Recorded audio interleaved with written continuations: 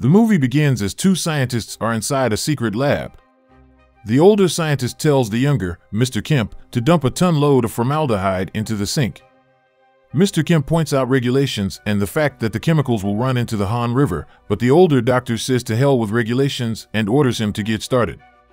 Mr. Kemp then dumps bottles of formaldehyde, possibly shortening his life subscription in the process. At the nearby Han River, two fishermen are relaxing when one spots something in the water. He scoops it and shows it to his friend and notices that it looks like a mutated fish.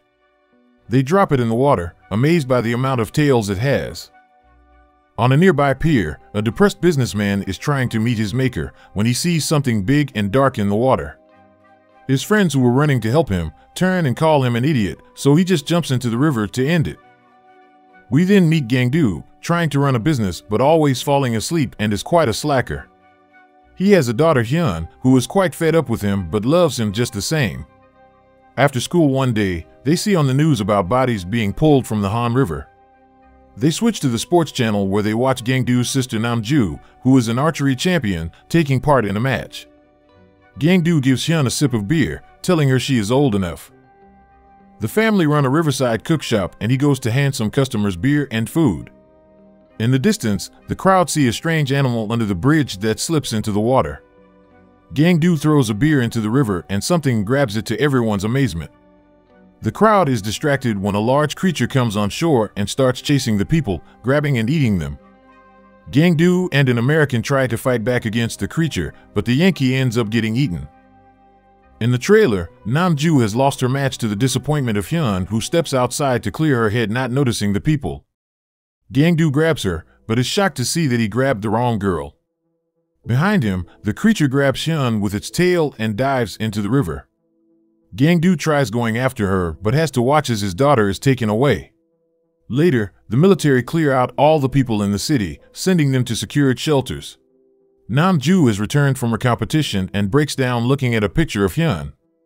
Their brother, Namil, drunkenly comes over to the family and they all break down wailing while the media gets pics for the gram.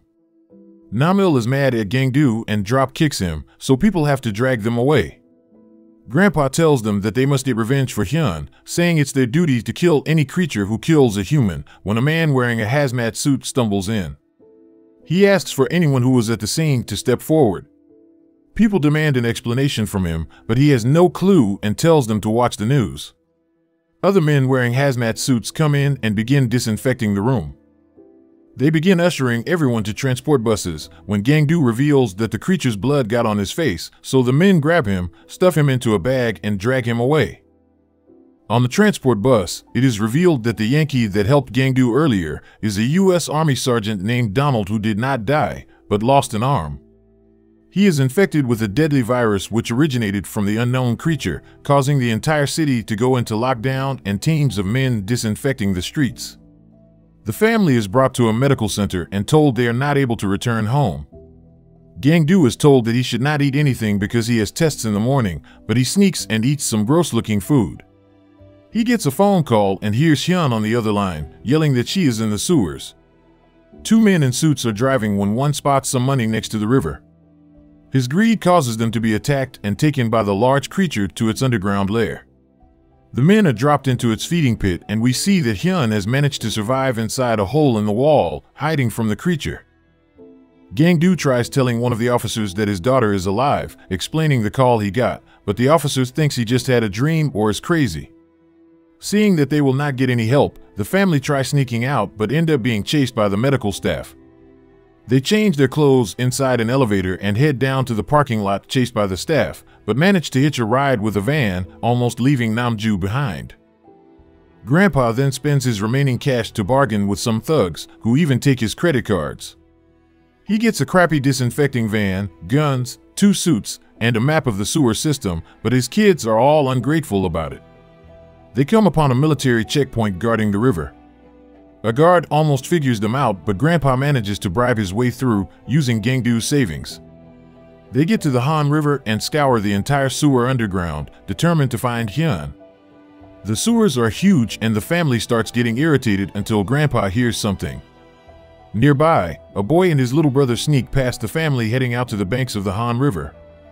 They raid Grandpa's cookshop for food and are heading back when the massive monster appears and begins chasing them. Gangdu and the family return to the shop to rest for the night. They prepare dinner and they all imagine Hyun there eating with them. Underground, Hyun hears the monster approaching and plays dead, hearing the beast drop off the two boys. Hyun helps the little boy and almost gets caught by the monster, but it leaves once more. Hyun then realizes that the older boy has passed away. The family is preparing to go out when Namil and Namju again scold Gangdu for losing Hyun. Grandpa scolds them for being mean to their brother. Gangdu then spots the monster out in the rain, and Grandpa plans to shoot it. He misses the shot, causing the monster to flip the shop. Grandpa is able to shoot the thing, which collapses. Namil tries to finish it off, but the monster runs away, climbing the bridge overhead and swinging along its beams as the family tries to shoot it down. Namil and Grandpa are out of bullets, but Grandpa is determined to kill the monster, taking Gangdu's gun that he says only has one shot. Gangdu tries calling for him, but Grandpa is determined to make it to Valhalla and sends them away. Namju decides to fight too, until Namil yoinks her away. The monster corners Grandpa, but it turns out the gun was empty and he gets smashed against the ground hard. They have no time to grieve, as the military has spotted them and gives chase. Gangdu cannot bring himself to leave his father and he is taken. We hear on the news that the military has developed a biological agent to fight against the viral outbreak ravaging the city. We then see Namil, who is now wanted, meeting secretly with an old friend who is able to trace Hyun's last call's location. His friend asks about Namju and learns that she got separated from Namil, and we learn he is secretly planning to grab Namil with a group of people for reward money. Namil is able to figure out Hyun's location before the group of men run out to grab him. He is able to evade the men and jump from a bridge. Before he passes out from the fall, he texts Hyun's location to Namju. She rushes to the location calling Gangdu on her way. She sees the creature and pulls her bow and arrow, but gets knocked out. Gangdu is on the line with her when it goes dead. He is surrounded by men in suits who hold him down to sedate him before painfully extracting tissue samples from him. An American doctor, along with his assistant, comes by to check on Gangdu, who is hysterical about his daughter. The doctor then claims that Gangdu's brain has been infected by the virus. He reveals to his assistant in private that the government has no evidence of a virus but still pushes the narrative. Gangdu overhears them, so the doctors strap him down and prepare to drill into his brain for no reason. Hyun and the boy, Seju, are in the pit, talking about what they would like to eat when they get out. Hyun had taken the clothes of the people there, using them to create a makeshift grapple.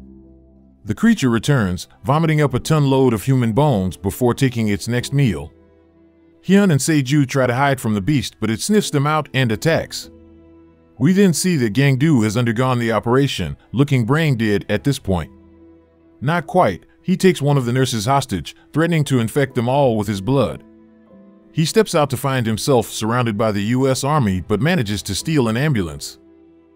Namil wakes up underneath the bridge with a homeless man next to him.